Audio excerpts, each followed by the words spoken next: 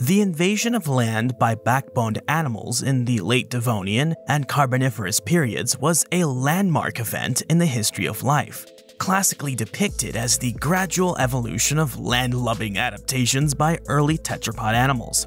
Over the last 30 or so years, plenty of new fossil discoveries, revised anatomical interpretations, updated evolutionary relationships, and new techniques and methods have been able to reveal previously unrecognized anatomical features of all sorts of early four-limbed backboned animals as they transitioned from water to land these studies have been able to overturn many earlier ideas of the orderly, stepwise sequence of the evolution of terrestrial adaptations, how important these adaptations were, and the role they played in the invasion of new ecologies of the landlubbers.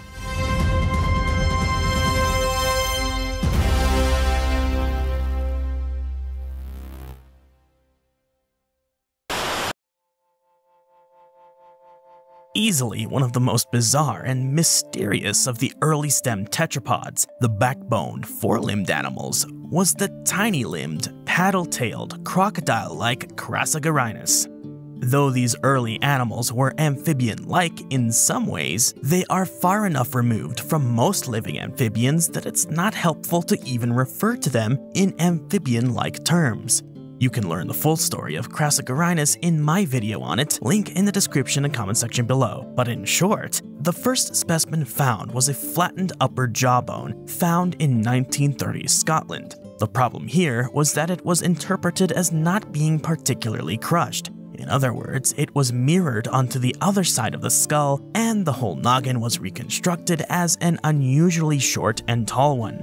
Over the almost century since then, pretty much the entire skeleton of the animal is known, but the skull is still hard to interpret.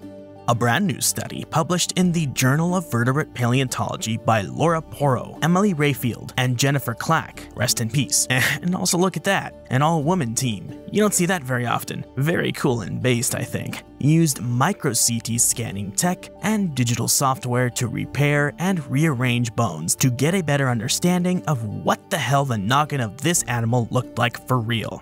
You see, despite a good handful or so of skull specimens from Crassigyrinus, they're all flattened and crushed in one direction or another, and sometimes in all directions. So, the team scanned a bunch, repaired them the best they could, and fit them all back together digitally. Thanks to new tech, a lot more and much finer detail was able to be scanned from the bones. After all that was done, the team was left with this 3D skull model a skull that is far flatter than any previous reconstructions. The three sets of fangs that hang down from the palate or the roof of the mouth point well below the bottom border of the skull.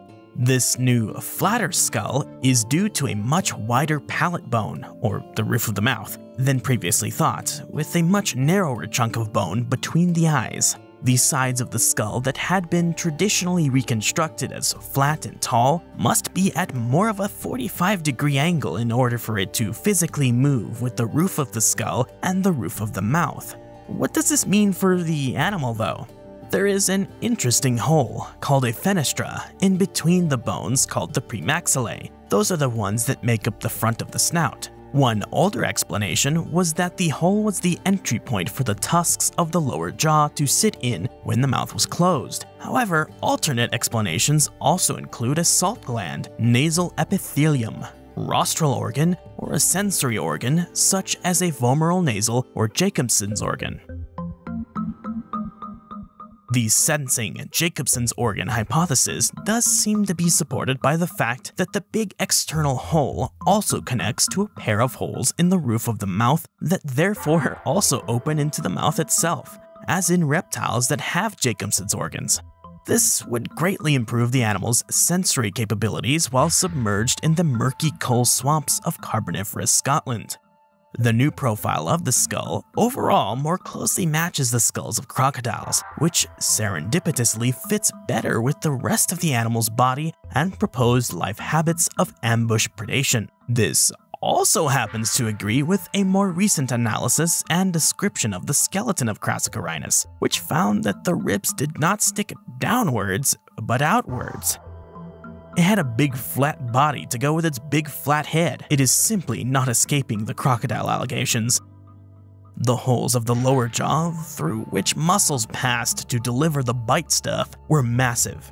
This pretty much indicates that the animal probably had a whopper of a bite. Nigel Marven was lucky.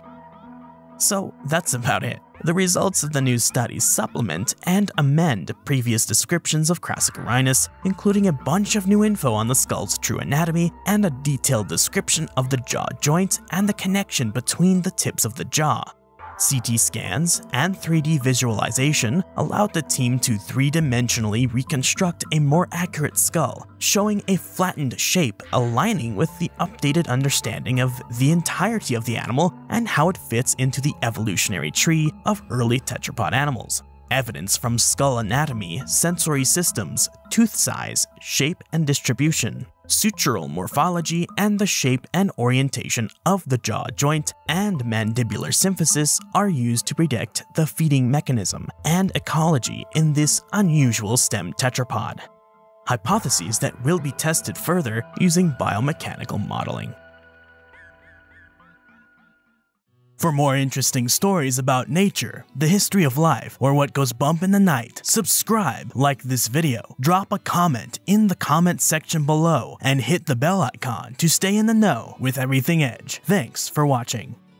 Special thanks to Elephant Tier patrons Abby Smith, Arda Bayer, Biotaverse, Cherry Shaw, Chris Frampton, Christoph Hubinger, Dinosaur, Ed Peretz, Isaiah Garza, Jax the Hacks, Natty Cat, PA Brew News, Ray, Rudy Redgrave, Smiling Walrus, Staniforth Hopkins, Steve Bradshaw, Thea Svensson, and Extraterrestrial. As well as my top tier Tyrannosaurus patrons Admin, Antron, Aphid Kirby, Cyber, Dana Manchester, Danny Van Heck, Henry Brennan, Iberospinus, Iron Bladesman, Joshua Mana, Panic, Radio 404, Robert Kessler, Ruben Zachariah, Swaffles is Weird, Teeny Dragator, and The Dogman.